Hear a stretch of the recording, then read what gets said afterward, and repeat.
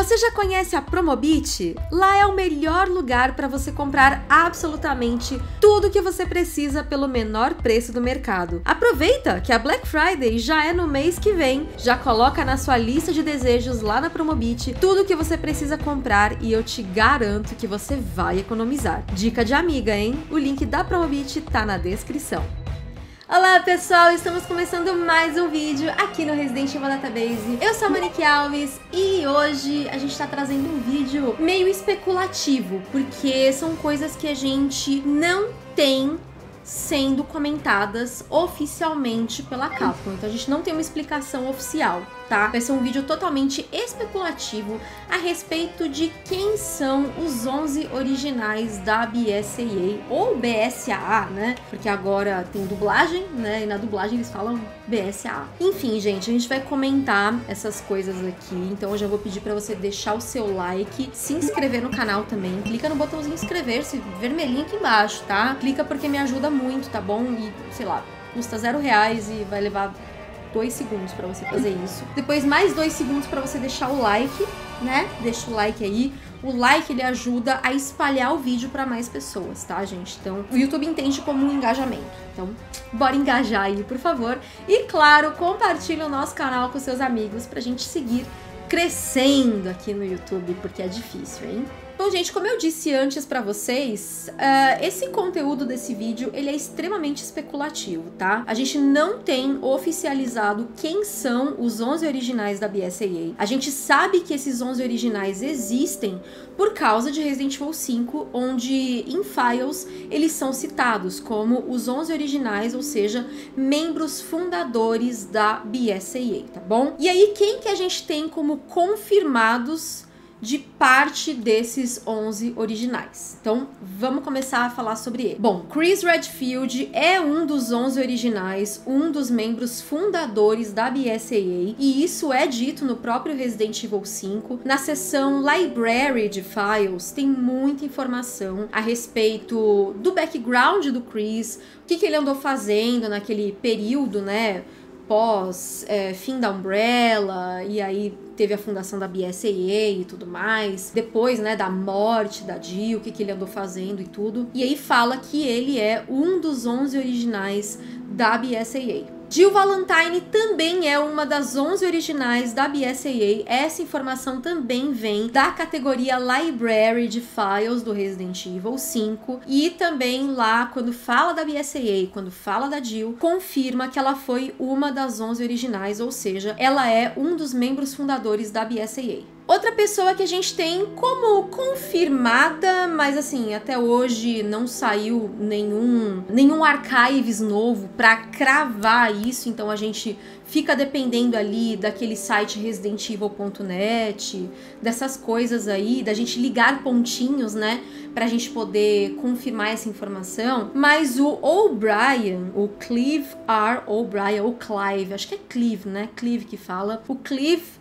R. O'Brien, ele era diretor da BSAA em 2004 e 2005. A gente conhece ele como um dos personagens do Resident Evil Revelations, do primeiro Revelations. E o O'Brien, ele era diretor, então, portanto, a gente acredita que ele era um dos fundadores também da BSAA, né? Até porque na época em que ele era ali o diretor da BSAA, a BSAA ela era uma organização pequena e civil ainda, então ela não podia agir como ela quisesse, né? Ela não tinha muitos fundos também, né? Então ela aconselhava a FBC, que era a organização liderada pelo Morgan Lansdale, inclusive ele era uh, amigo do Morgan, né? O O'Brien era amigo do Morgan, enfim, eles acabaram seguindo caminhos diferentes, né? E o O'Brien, como membro da BSA, que era uma organização de aconselhamento, ele dava conselho pro Lansdale, e aí o Lansdale agia. E a gente sabe que o Lansdale não ouvia, né? Não ouviu ali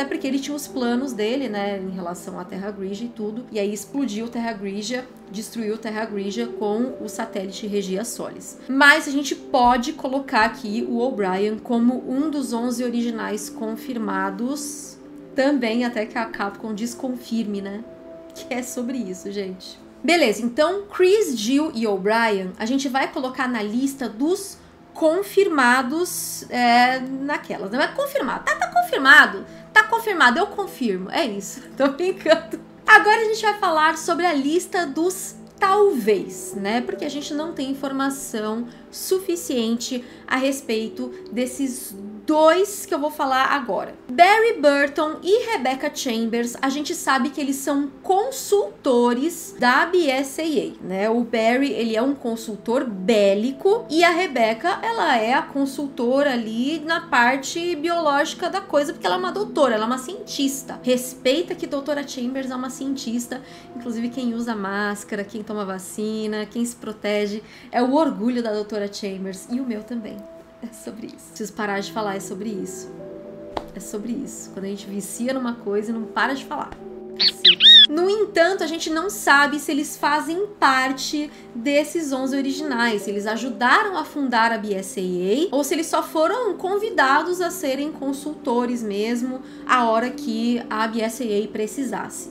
Então a gente coloca eles na lista do talvez. Mas eles também participaram do incidente da mansão, eles uh, viram né, toda essa, essa coisa do bioterrorismo ali na prática, então, se eles fossem 11 originais ali, parte dos 11 originais, eu ia gostar muito, só falta a Capcom confirmar oficialmente. Então, eles vão ficar na lista do talvez. Tá, a gente tem então Chris, Jill e O'Brien como confirmados, Barry e Rebecca como talvez, e aí faltariam seis ainda. E desses seis 11 originais, onde eles estariam, onde vivem, como se alimentam, o que fazem? Aqui a gente vai entrar totalmente na área da especulação. Então, primeiro a gente tem que lembrar que a Jill e o Chris eles fizeram parte em 2003 para desmantelar a Umbrella. Eles fizeram parte de um esquadrão regional anti-Umbrella mesmo. Inclusive mostra eles nesse esquadrão no capítulo Umbrella's End do Resident Evil The Umbrella Chronicles. Então, Umbrella Chronicles é canônico, eles fizeram parte dessa organização. Talvez tenha pessoas dessa organização que sejam parte dos 11 originais quem sabe. Além disso, o próprio O'Brien, como ele era amigo do Lansdale, provavelmente ele tinha outros contatos também ali de pessoas em potencial que pudessem desejar acabar com o bioterrorismo, lutar contra o bioterrorismo e fazer parte, né, da BSAA desse quadro de membros fundadores aí. Então, de repente, uma galera aí conhecida do O'Brien pudesse fazer parte dessa desse quadro dos 11 originais. Talvez até o O'Brien ser parte do desse esquadrão regional anti-umbrella e aí juntou tudo ali e essa galera fundou a BSAA. E agora a gente sabe que a BSAA ela anda de amizades com quem? Com a Umbrella. Sabe aquela amizade ruim?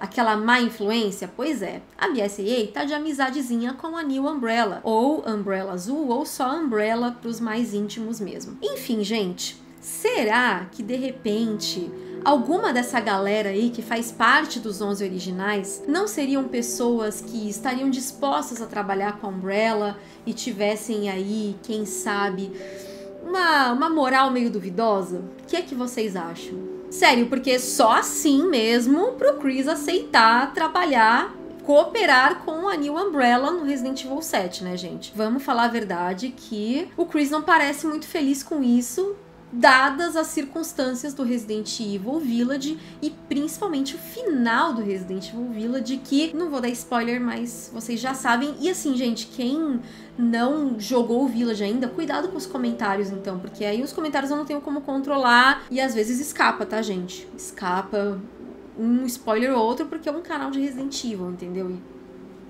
às vezes a gente tem que falar as coisas. Dessa vez eu não vou falar, prometo.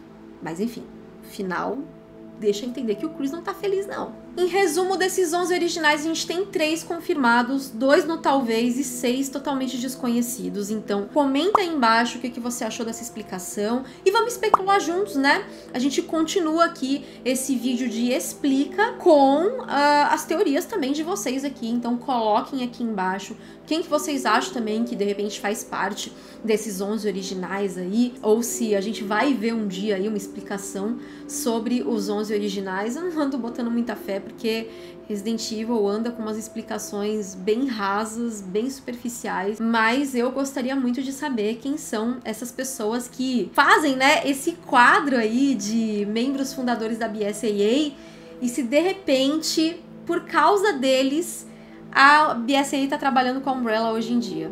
E se você gosta do trabalho que a gente faz aqui no Resident Evil Database, considere se tornar um padrinho ou uma madrinha em padrim.com.br barra Resident Evil Database a partir de um real por mês no cartão de crédito. Gente, é um real. Se você tem cartão de crédito, seja um padrinho ou uma madrinha, bota um realzinho lá no seu cartão de crédito e esquece. A gente não vai esquecer nunca. E, nossa, a gente tem 100 mil inscritos aqui. Eu não tô falando de 100 mil pessoas fazerem isso, né? Porque aí, pronto, a gente já tava, já não precisava nem ter membro mais, sabe?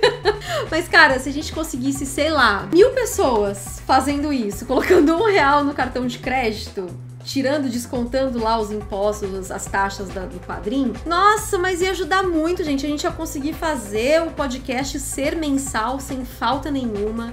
Ia ser maravilhoso. A gente ia conseguir pagar vários dos nossos custos, sabe? É, enfim, ia ajudar demais. Então, considere deixar um realzinho lá no seu cartão de crédito no padrinho. Você também pode ser membro aqui do canal do YouTube clicando no botãozinho Seja Membro. Se o botãozinho não estiver aparecendo para você, tem um link na descrição e um redirecionamento aqui também. Custa R$ 2,99 por mês para você se tornar membro do canal, você vai ter acesso aos nossos emotes exclusivos e ao nosso grupo do Telegram, onde de vez em quando eu mando uns áudios que mais parecem um podcast mesmo, viu? De tão longos que são. E claro, você também pode ser um sub lá no site roxo, ó. O link tá aqui aparecendo para vocês, tem um redirecionamento aqui também, tem link na descrição, link no primeiro comentário fixado. Nossas lives estão rolando lá de terça, quarta e quinta, às 19 horas, horário de Brasília. Às sextas-feiras as lives são aqui no YouTube, mas você pode se tornar um apoiador lá a partir de R$ 7,90 por mês para também ter acesso aos nossos emotes exclusivos, você vai ter acesso ao nosso grupo do Telegram, você também vai ter acesso a premiações exclusivas para subs, então de repente você pode ser contemplado aí com um presentinho, né, para não falar aquela palavra com S que dizem que é ilegal é ilegal, não pode, né? Não pode. Enfim, considere se tornar um sub lá também. E muita gente pergunta assim, Moni, qual que é o melhor apoio para você? O que, que te ajuda mais? O que me ajuda mais é o que for melhor para vocês, gente. Então, ser sub no site roxo, membro aqui, padrinho lá no padrinho, que for melhor para vocês é o melhor para mim. O importante é o apoio pra gente poder continuar crescendo, né, e expandindo o nosso conteúdo, dando continuidade também para o nosso trabalho, para a sobrevivência do nosso trabalho na internet. Eu vou ficando por aqui. Um beijo para todo mundo. Até o próximo vídeo e tchau.